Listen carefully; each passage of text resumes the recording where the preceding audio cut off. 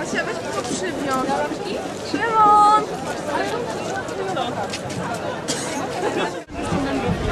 Będę się naprawdę,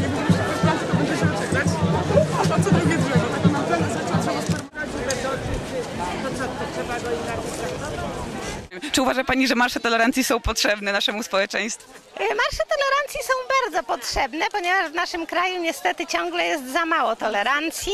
Bardzo dużo jest grup dyskryminowanych, no przede wszystkim kobiety, chociaż stanowimy większość, jesteśmy dyskryminowane. A więc marsze równości są organizowane w obronie wszystkich, którzy są faktycznie lub czują się wykorzystywani, czują się dyskryminowani, czują się źle. Dlaczego tak mało polityków SLD pojawia się na marszach i na paradach równości? Czyżby bali się naszego środowiska?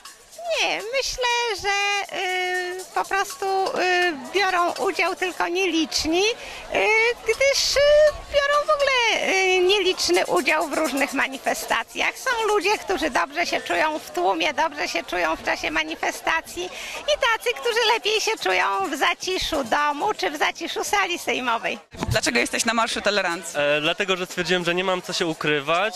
Generalnie mieszkam blisko, więc stwierdziłem, że przyjdę. Jestem gejem, nie wstydzę się tego powiedzieć. Jaki jest najważniejszy, jaki powinien być najważniejszy postulat środowiska gejowsko-lesbijskiego na ten dzień, na tą chwilę? Związki partnerskie, adopcja, małżeństwo, czy może tylko na przykład nie bijcie nas na ulicy?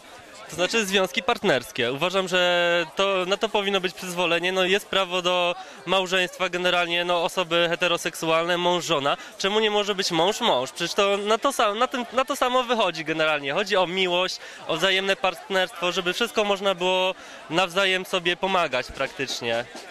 Uważa Pan, że takie marsze są potrzebne w Krakowie? Potrzebne na pewno nie są, no ale jeśli ktoś uważa, że dla nich są potrzebne, proszę bardzo, niech chodzą. No, to ten marsz odbywa się pod hasłem przeciwstawienia się homofobii, czyli dyskryminacji gejów i lesbijek. Uważa Pan, że taka dyskryminacja istnieje? Tego nie wiem, no osobiście tego nie zauważyłem, żeby jakaś dyskryminacja była między tymi ludźmi, to, a innymi, tymi, a innymi. Ale generalnie nie jest Pan przeciwko. Nie, niech se chodzą, no po co im przeszkadzać? Nie będziemy im przeszkadzać, my im będą chodzić. No im więcej takich akcji, jakichkolwiek akcji, które oswajają z homoseksualizmem, to oczywiście jestem w pełni stuprocentowo na tak. Natomiast uważam, że marsze równości po prostu nie wystarczą. Chodzi o to, abyśmy zobaczyli, aby zobaczono nas homoseksualistów na co dzień, żyjących, czujących, e, e, żyjących na takich samych zasadach jak heteroseksualiści. Naszych cudownych nacjonalistów serdecznie olewamy i nie wchodzimy z nimi w żaden dialog na takich zasadach, na jakich oni proponują. Wejście w ten dialog w cudzysłowie oczywiście.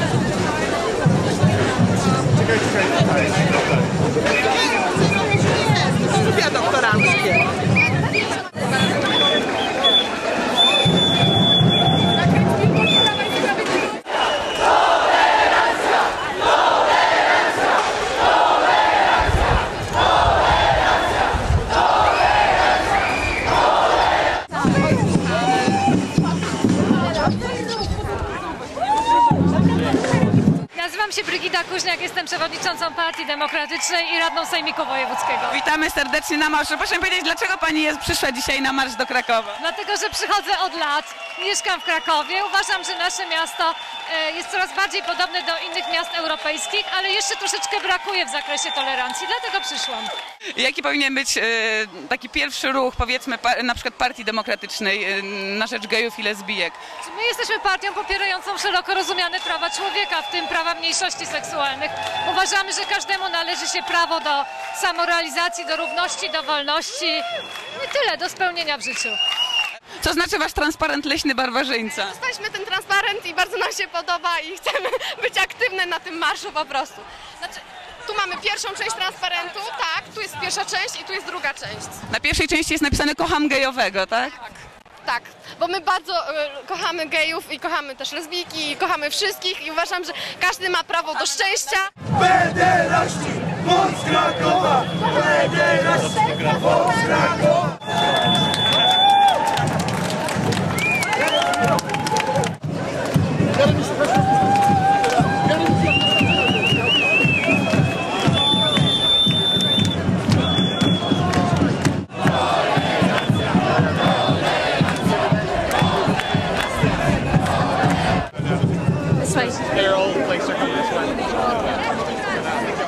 Co myślicie o chłopakach, które stoją po drugiej stronie?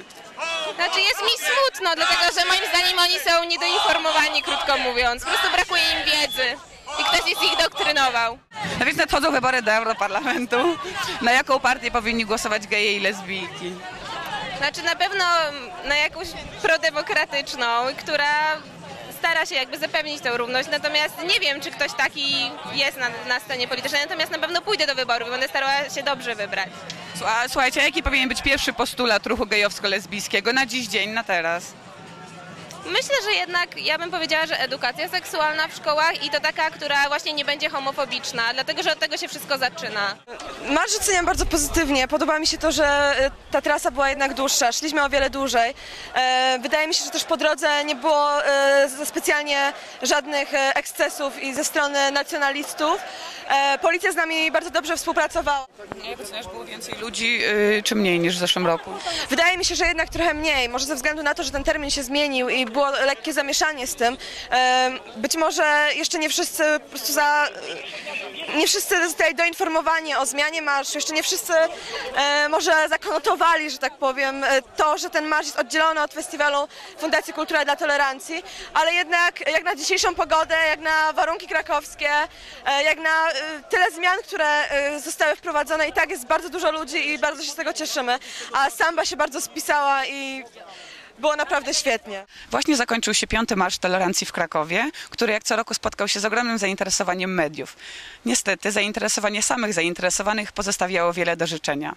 Magda Korona, Inna Strona TV.